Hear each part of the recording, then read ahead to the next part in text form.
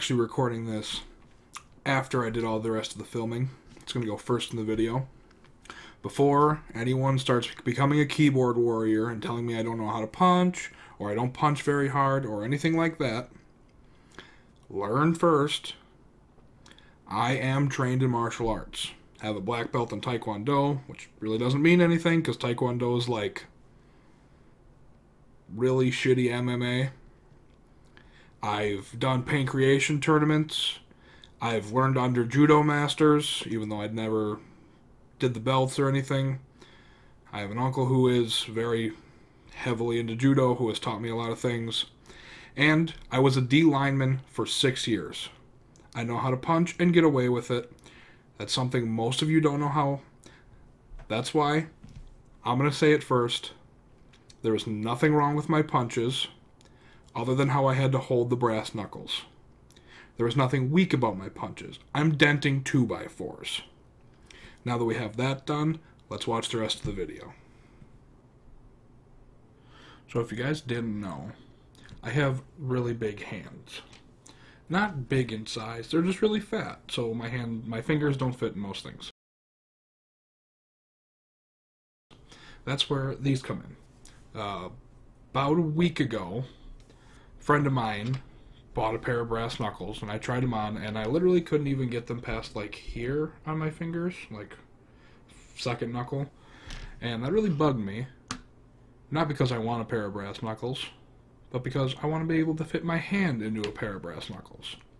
So I figured this is going to be a twofold thing. I'm going to print these.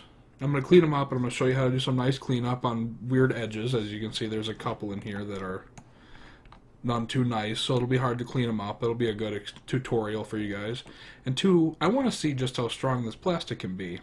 So I'm going to put this on my hand and I'm going to punch something really hard, like my desk, maybe a tree. And we're going to see if it breaks. Now, I already know what you're thinking.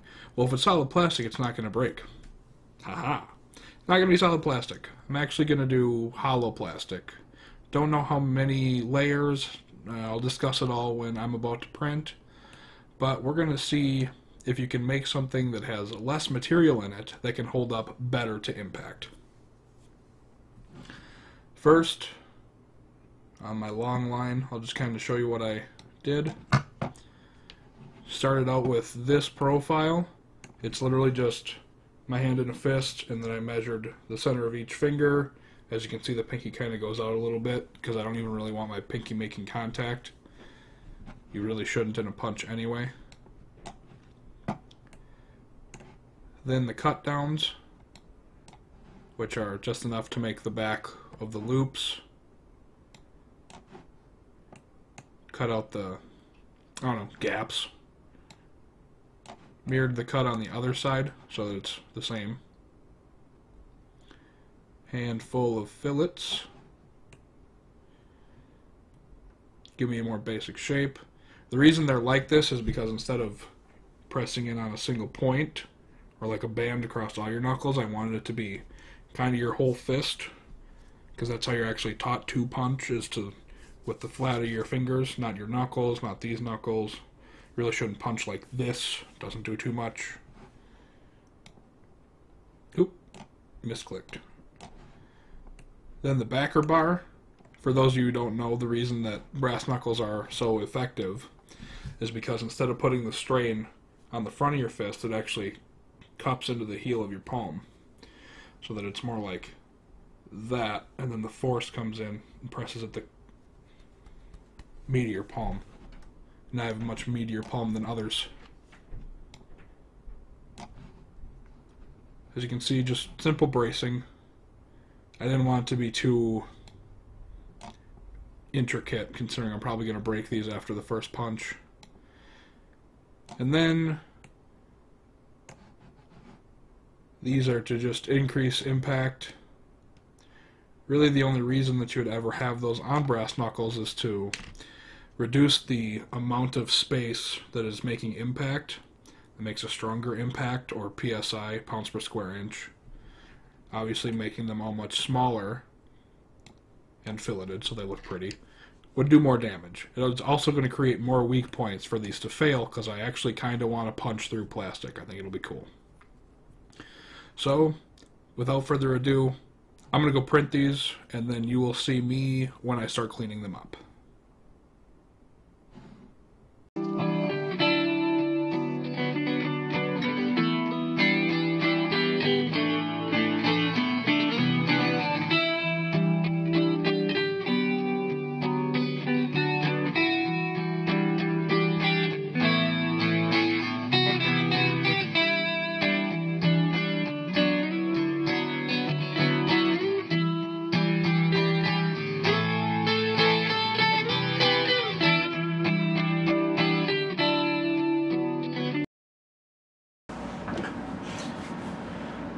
Okay, so what happened before, I did a couple test punches with this set. As you can see, this set was not printed, you know, all the way through. It was just a shell. This is what this is about 15% infill, which is just an edge, an edge, and some bracing on the inside. As you can see, it didn't hold up well. I can even flex it with my hand a bit. Here's the new one. Now, once we get, let's do this. Whenever you do a print, you're going to want to start by peeling off any raft or brim that you use. Then, real quick, next step. As you can see, starts to separate. Bam! Here.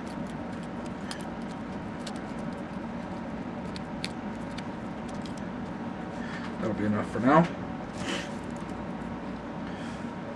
Look pretty similar from the top, but from the bottom, as you can see, this is the broken one. Hollowed out, solid. So hopefully this one holds up to at least one punch. At least that's what I'm hoping. Other than that, just some normal cleanup. Uh, where's a good knife?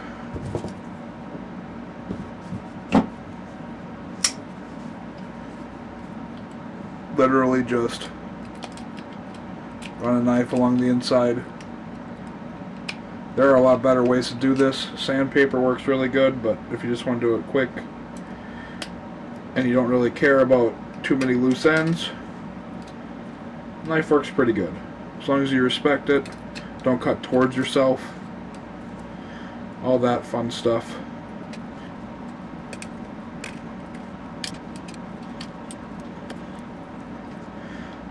That's enough for the quick cleanup.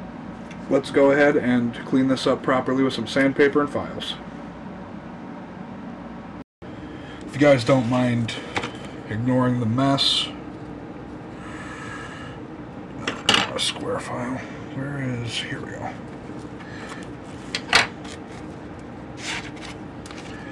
Gonna want to file with one flat side, one curved side. Obviously the curved side for when you're cleaning up the edges on the inside of a ring or any kind of curved surface. Flat side for obviously flat edges. You can use a curved side, but just works a little bit better.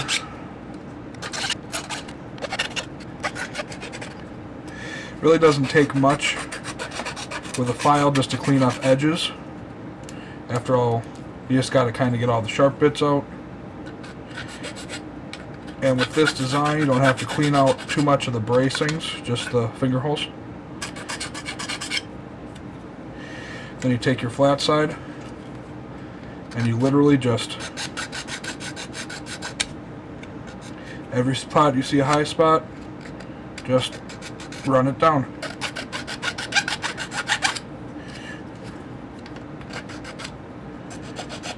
I'm not going to go with since I'm pretty sure I'm going to destroy it, I'm not going to clean this up too much.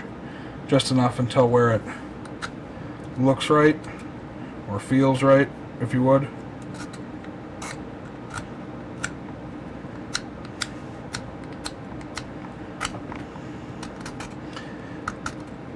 The reason I like rasps and files so much is they take off a lot of material at once, and as long as you don't go hog wild and you stay pretty patient, you can get some pretty smooth surfaces. As you can see, that's a lot smoother than those ridges, but those can just be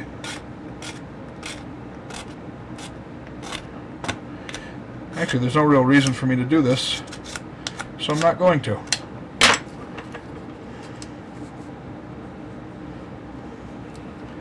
Fits my fingers nice. Pinky is, well, floating because you don't really want to hit with your pinky. You want to hit with these two fingers, and you actually want to hit with your flats, but I misprinted, and I don't want to print again, so it's going to be right about there. You want this, this back piece, I guess you'd call it, to be pretty much in the meat of your palm, so either here or here. So when you make your fist, instead of actually transferring into your knuckles, transfers into your palm.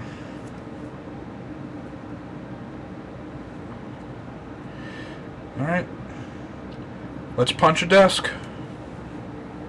So here's a 2x4. Actually, let me close the laptop first.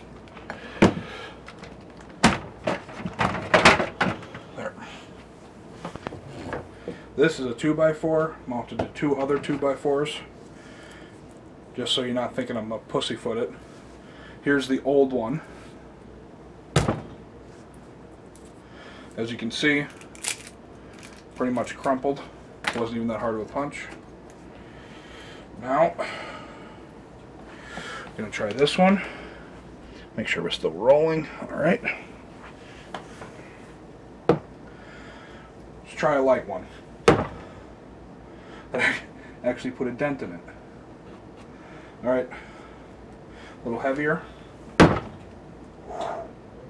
do some damage with these. I really should have made this knuckle a bit bigger, but alright, let's try and break it.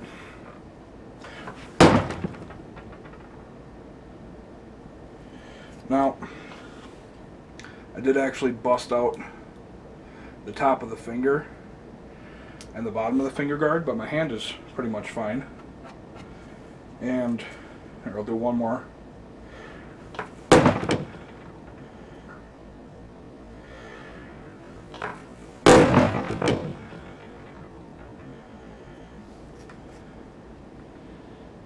Alright, that one kind of dug in a little bit. Blew out the bottom of the finger guard and started blowing out the top of it. But Everything else, that's extremely impressive to me. I could probably throw two or three more punches. And if I thickened this up a bit, might even be able to hold more than... Oh, actually, here, I'll just show you what's happening. This is the one, the first one that I threw the punch with. And as you can see, the knuckle just disintegrated on. To be expected with how hollowed out it is. This is the one I threw the other punches with. And as you can see, busted up pretty bad on the middle knuckle, which is where I was hitting. But it also busted in the middle of the line that actually follows through with the rest of these grips, which I was expecting, but at a lot more than this. Otherwise, this discoloration is a stress fracture from, I couldn't tell you which punch. And yeah, it held up. As you can see, this is a lot more, let me find, that is a similar, this is actually the pinky section from the other one. As you can see, it's pretty hollow. This one is solid. So there you go, guys. This isn't that thick. I do not have a ruler around here for some reason. Otherwise, I could kind of show you. I'll, yeah, I'm gonna I'm gonna share this on Thingiverse. This will be, I'll be interested to see other people improve it or print it in different materials and see if it holds up better. But, I mean, it it held up, guys. Here, I'll actually, you know what? Same shot. Let's get this. It's on a tripod right now. That's why it's.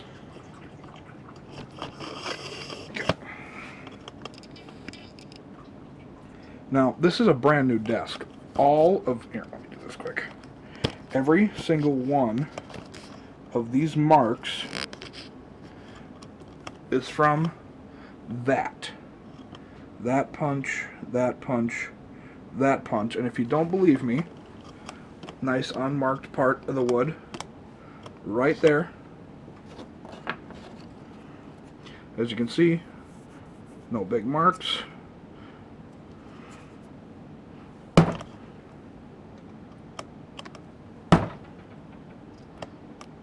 See him leaving marks?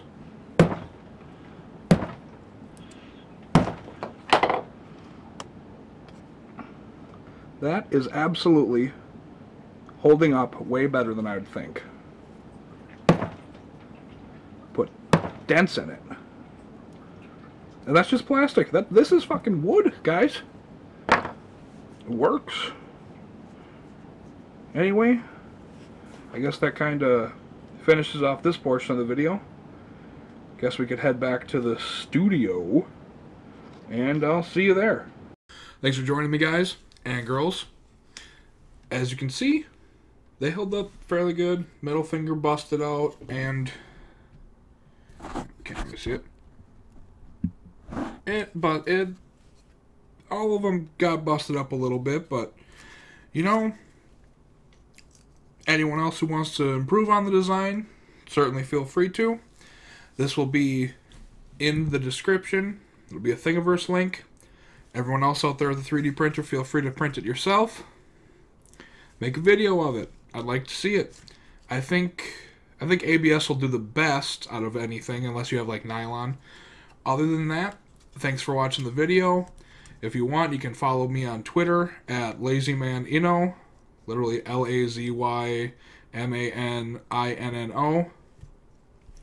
Uh, have a Facebook page, Twitter, Facebook, everything's going to be in the description come around, like it. Uh, sometimes I post video snippets. Sometimes I post things that don't make it into video. It's kind of cool to see some background. Sometimes I just post pictures of projects I'm working on that I'm not doing a video of. So, really? oh. Thanks for watching, guys. See you in the next one.